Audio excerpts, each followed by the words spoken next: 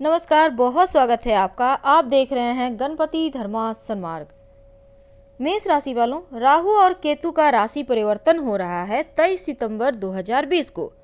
पूरे 18 महीने तक राहु मिथुन राशि से निकलकर शुक्र की राशि, वृषभ राशि में रहेंगे और केतु मंगल की राशि, वृश्चिक राशि में रहेंगे। अब राहु और केतु दोनों ही छाया ग्रह हैं।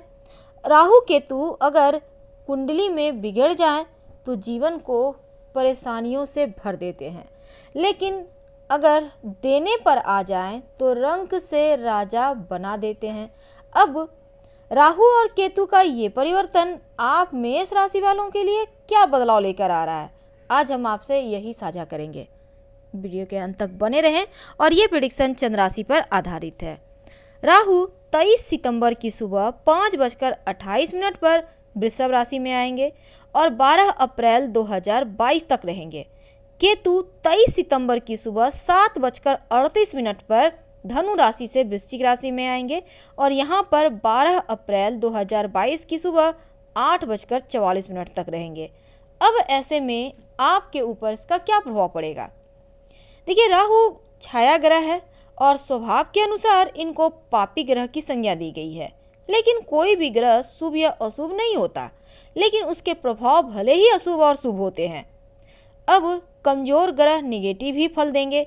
लेकिन चलिए जानते हैं, आप मेष राशि वालों, आपके धन भाव में जब राहु आएँगे, तब आपके जीवन पर इसका क्या प्रभाव पड़ेगा? राहु आपकी राशि से द्वितीय भाव में आ रहे हैं, धन भाव, जिसके परिणाम स्वरूप आपके जीवन में मिला जुला हुआ फल आपको मिलेगा। क्योंकि आकस्मिक रूप से धन भी देंगे और शुरुआत में तो राहु, मृगशिरा नक्षत्र में रहेंगे। इससे आपको आकस्मिक रूप से धन आता रहेगा। यहाँ पर इस दौरान हो सकता है घर परिवार के लोगों के साथ थोड़ी सी अनबन हो जाए। लेकिन आपके काम में थोड़ी बहुत रुकावटों के साथ, आपके धन के मामलों में आपको लकी बना रहे हैं। बहुत ज़्यादा खुशकिस्मत। क्योंकि व्यापारी वर्ग को खासकर धन आएगा। जो लोग कहीं पैसे वगैरह लगा के रखे हैं, लॉटरी, जुआ, सट्टा शेयर मार्केट इन क्षेत्रों से भी धन आने के योग बनेंगे। इसके बाद जब 27 जनवरी 2021 को मृगशिरा नक्षत्र से निकलकर राहु रोहिणी नक्षत्र में प्रवेश करेंगे, तब आपके परिवार के साथ जो अभी तक थोड़ी सी अनबन थी, दूरियाँ थी, वो समाप्त हो जाएगी और प्रेम बढ़ेगा।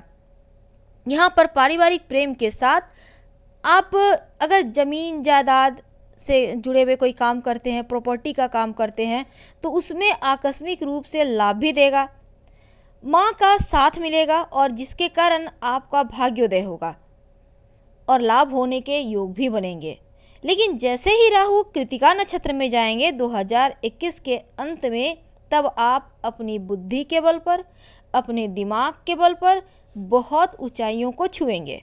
क्योंकि इस समय आप धन भी अच्छा कमाएँगे और हर क्षेत्र में आपका दबदबा कायम रहेगा। घर परिवार का साथ मिलेगा।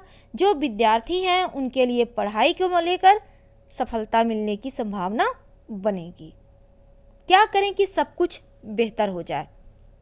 ये भी जानेंगे, लेकिन उसके पहले दो बातें जान लेते हैं। इस समय आपके जीवन में कई क्षेत्रों में आपको सफलता मिलेगी। राहु संचार का भी कारक है, विदेश का भी कारक है।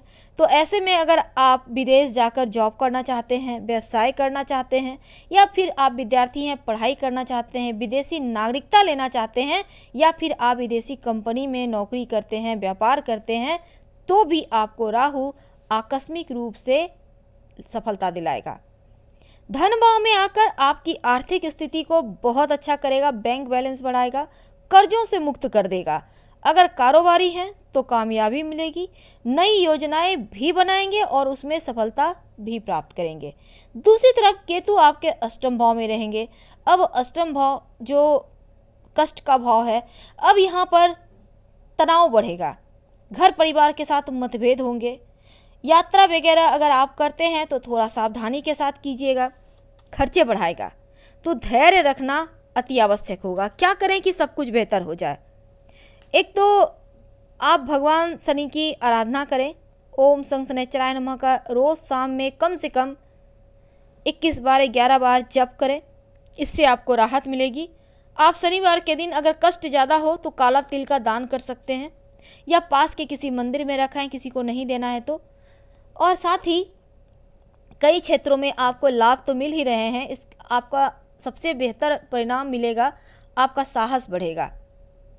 हालाँकि वैवाहिक जीवन की स्थिति बेहतर है, चीज़ें यहाँ पर, लेकिन मेष राशि वालों, यहाँ पर थोड़ी बहुत दिक्कतें भी बढ़ा रहा है, दौड़ भाग बढ़ेगी अगर आप अविवाहित हैं तो शादी विवाह के मामलों में थोड़ी सी रुकावट दे सकता है।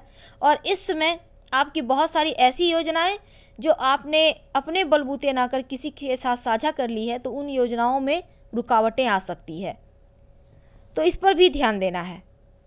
अगर ओवरऑल कहा जाए तो दूसरा भाव धन का, कुटुंब का होता है। और वैदिक ज्योतिष में दूसरे भाव में राहु बहुत अच्छा शुभ नहीं देता फल, क्योंकि आपकी वाणी को कठोर बना देता है, जिसके कारण रिश्तों में अलगाव आती है, पारिवारिक जीवन में विवाद होते हैं, अपनों के साथ वाद विवाद हो जाता है।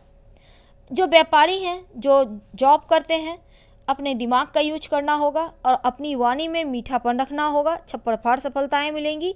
शत्रु विरोधी कहीं आपके खिलाफ कोई षड्यंत्र ना रचे, इसका भी आपको ध्यान रखना चाहिए। ये निगेटिव प्रभाव में से एक होगा। अगर आप जॉब करते हैं तो आपके कार्यस्थल पर थोड़े से तनाव महसूस हो सकते हैं तो थोड़ा सा यहाँ भी ध्यान दें। तमाम चीज़ों से बचने के लिए नमः शिवाय का ज़्यादा से ज़्यादा जप करें। आप चाहें तो ओम रांग राहवे नमः मंत्र का भी जप कर सकते हैं।